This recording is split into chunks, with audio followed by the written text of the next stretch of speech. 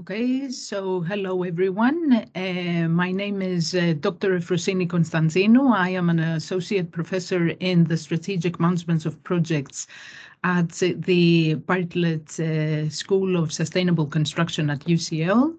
And today I have Andreas with me. Hello, Andreas Nachbagauer. I'm professor of uh, management at the University of Applied Sciences, uh, BFI Vienna. So we we did this uh, special collection, which uh, we have called the Digital Learning and Education for a Project Society, and uh, we would like to share with you some of the ideas that we had before we started the the, the special collection, uh, but also some ideas that come from the papers themselves. Um, and Andreas, I don't know what your thinking is, but I think uh, we started this paper, this uh, special collection, by trying to cope ourselves with uh, the impact of the COVID 19 pandemic on our education and our learning. This was a, a very significant blow, if you like, uh, that all of our practices uh, faced. Uh, suddenly we had to come out of the classrooms and we had to very quickly learn and become very proficient uh, in our teaching online. Um, and therefore, it was a great opportunity for us to try to capture some of these experiences that uh, come came from ourselves uh, in our editorial, but also from the educators in our community and the broader project management community. Um, shall we go into what the different papers are showing?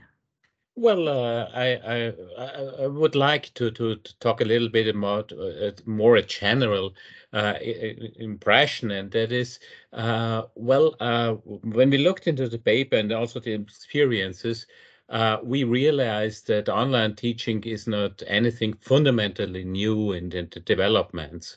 Also, the paper show that, but this enforcing trends that are going on and and will definitely uh, be here to stay. So we will not get rid of online, we will not get of virtual, but it's reduced and incorporated into the normal way of teaching and learning. That's my experience.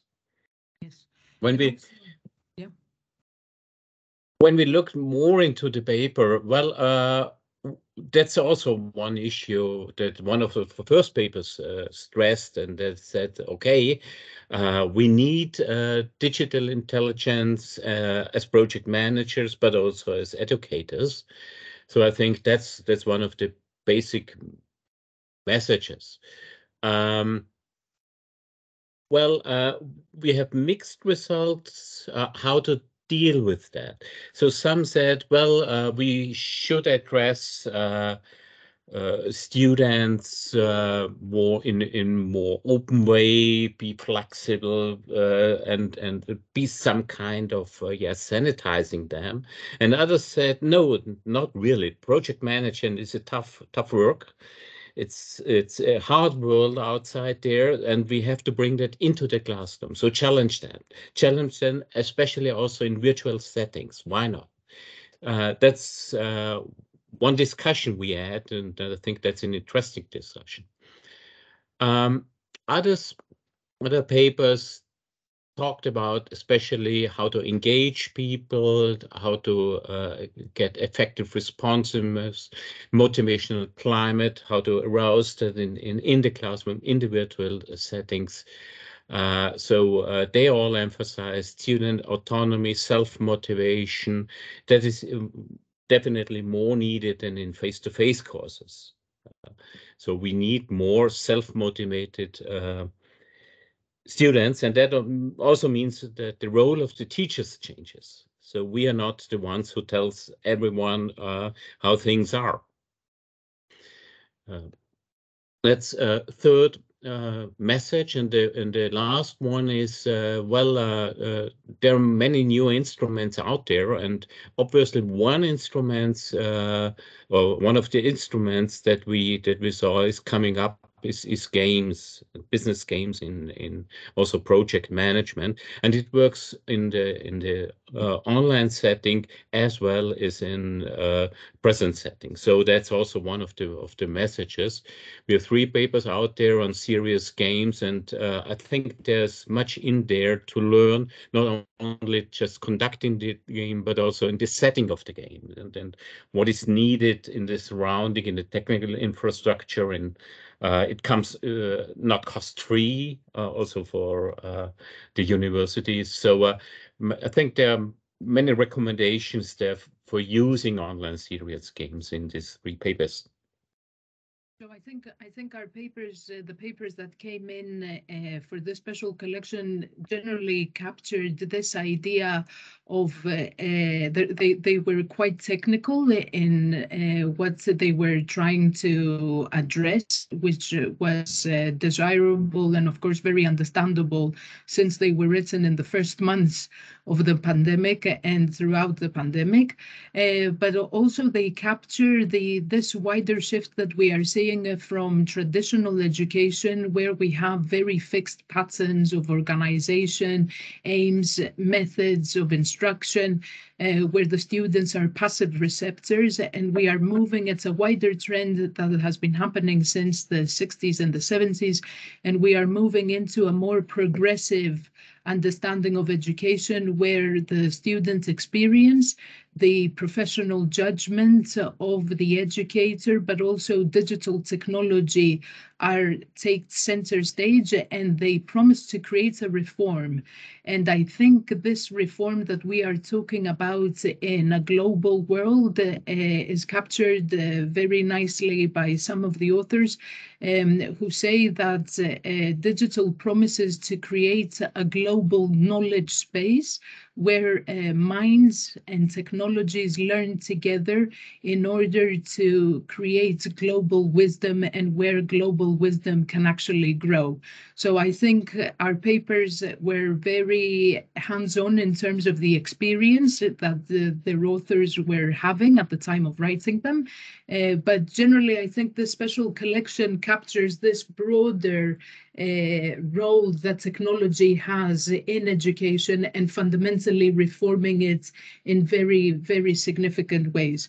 And of course, as you say, this is very relevant to projects because in projects we work with technologies, projects are embedded in the context.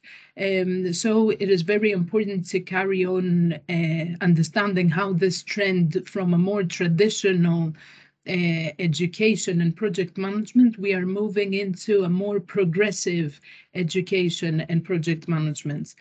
Uh, the last point that I would like to make is that uh, some of the points that we raised in our call for papers, which were not addressed at all in the papers that we received for the uh, special collection, were all about uh, uh, social and institutional inequalities.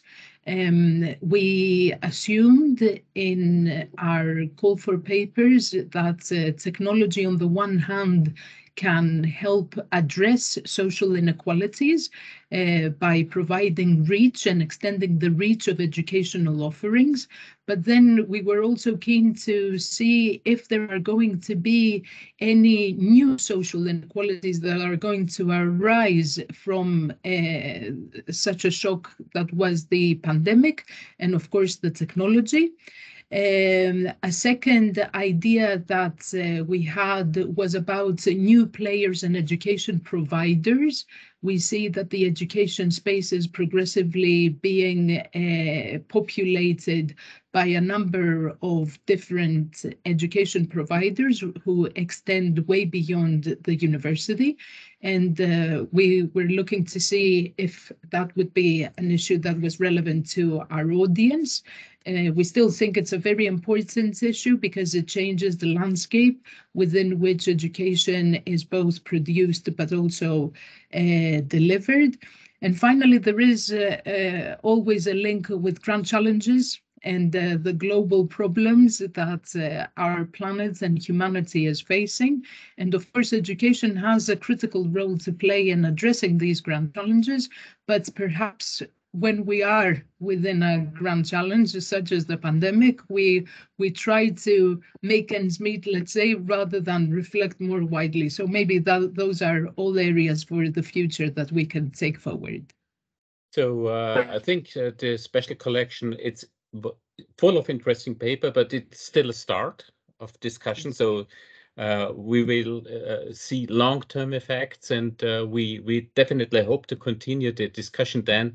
Uh, also in, in, in this channel's project leadership and society, we have a special format for that, the enable format, and I think we will all welcome further contributions for digital learning and education in this section.